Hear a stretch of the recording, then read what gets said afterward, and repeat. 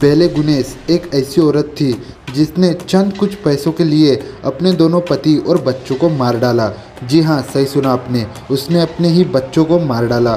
तो चलिए जानते हैं, और एक सीरियल किलर की कहानी, जिसने लगभग 40 से ज़्यादा लोगों को बड़े ही बेरहमी से मार डाला।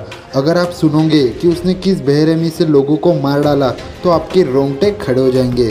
मैंने इससे पहले और एक सीरियल किलर जो मेथनी पर वीडियो बनाई है, ये वीडियो आप ज़रूर देखना।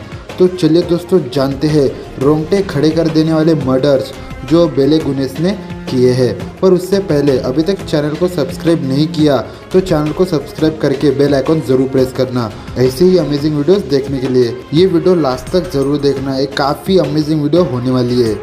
Belle Gunness Norwegian American serial killer है, जिसका जन्म 11 नवंबर 1859 को नॉर्वे के सेल्बू में हुआ और उसका असली नाम ब्रायन हाइल्ड पॉल्स डैटर स्टोरसेट था।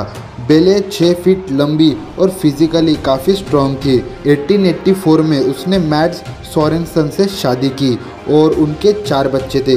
पर साल 1900 में उसने अपने पहले पति सोरेनसन के साथ दो बच्चों को भी मार डाला और उनके इंश्योरेंस की सारी रकम, जो कि करीब पाँच हज़ार डॉलर थी, वो हासिल करने के बाद बेले अपने और दो बच्चों को साथ लेकर अमेरिका के इंडियाना चली गई और यहाँ उसने एक फार्म हाउस भी खरीदा और उसने तुरंत ही अमीर लोगों को लुभाने के लिए न्यूज़पेपर के मैट्रिमोनल कॉलम में शादी के लिए एडवर्टाइजमेंट भी दिया।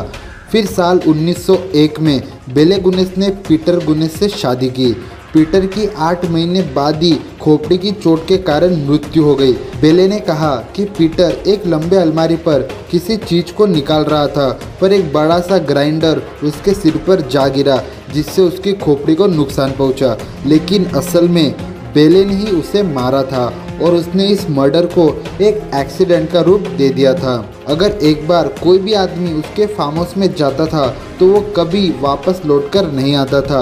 और रहस्यमय तरीके से गायब हो जाता था और ये बेरहम बेले उन्हें मार डालती थी और उनके सारे पैसे और कीमती सामान ले लेती थी। 1908 में उसने अपने एक नौकर से विवाद होने के बाद उसे ज़िंदा जला दिया। कुछ ही समय बाद उसके घर में आग लगी और उसके दोनों बच्चे बिस्तर पर मरे हुए पाए गए। घर में एक महिला की सिर कटी लाश मिलने से पुलिस कर्मियों को बेले गुनेस के मरने का अंदेशा हुआ, लेकिन बाद में जब उस लाश की लंबाई नापी गई तो पता चला कि ये उसकी लाश नहीं है, क्योंकि बेले गुनेस करीब छः फीट की थी और ये लाश छः फीट से कम थी। जब उसके घर की छानबीन की गई तो वहाँ से दर्जनों कंकाल बरामद हुए और साइट पर आगे खुदाई और जाँच से कई बोरे निकले, जिनमें लोगों के सिर्फ़ हाथ, पैर, आधे कटे हुए कंधे तो कभी बिना सिर की लाशें कभी कंधों से हाथ काट दिए गए तो कभी पैरों को घुटनों से अलग कर दिया। ये सब उन बोरों में पाया गया और इन सबको इस तरह बेले ने ही मारा था, जिसकी वजह से कई लोगों को आइडेंटिफाई ही नहीं किया गया। और रिपोर्ट से पता चलता है कि बेले ने करीब 25 से 40 लोगों को मार डाला, जिसमें ज़्यादा तो लड़के लोग ही शामिल थे।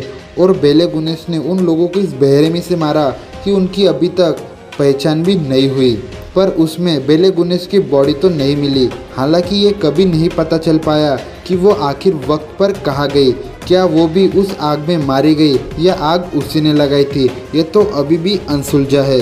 तो दोस्तों, देखा आपने कुछ चंद पैसों के लिए बेले गुनेस ने कई लोगों को कितनी बेरहमी से मार डाला।